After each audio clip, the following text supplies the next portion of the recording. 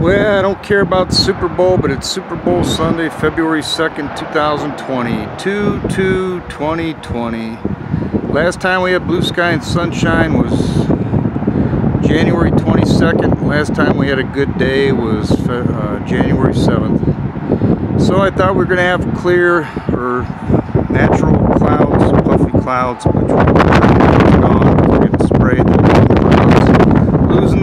got our geoengineering going on. Maybe what they're spraying is the coronavirus, who knows. But the point is, it's not going to be a good day because they are spraying our troposphere or stratosphere aerosol geoengineering, creating clouds, laying down trails and spreading their shit across the sky.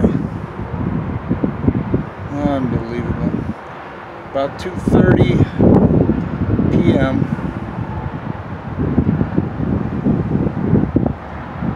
Nasty. What a damn shame.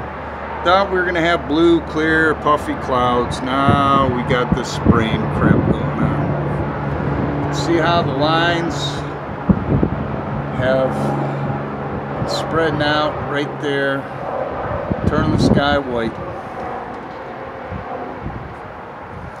Right along the Ohio Turnpike, Interstate 80, Strongsville, Ohio.